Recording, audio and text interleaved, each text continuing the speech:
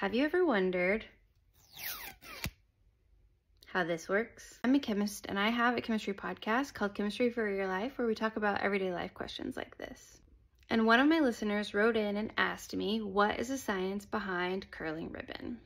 And it turns out there is actually scientific research into how that works. So in a ribbon, uh, there's a lot of individual molecules all lined up and they're all sort of bound to one another through attractive forces that we call intermolecular forces. So they're how molecules stay close and grouped up together.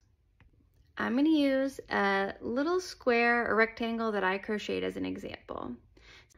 And even though ribbon's really thin and you can't always see it, there are lots of layers, just like there's two layers or two rows of stitches in this um, crocheted rectangle.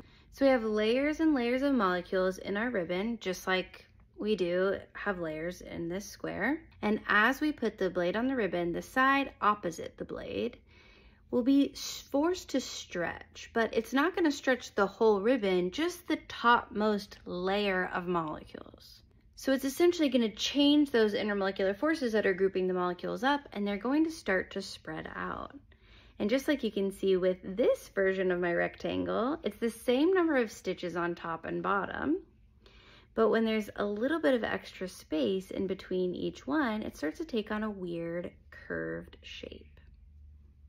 So in our ribbon, we're doing the same thing. The bottom layer is unchanged, but the top layer gets stretched out and then the overall shape of the ribbon starts to be changed as a result of the changes on the molecular level.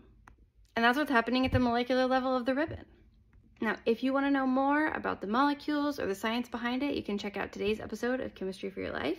And if not, I hope you have a Merry Christmas. Also, look at my Christmas sweater. Isn't it cute? It was my grandma's. It's got wreaths and presents. I thought it was appropriate for ribbon.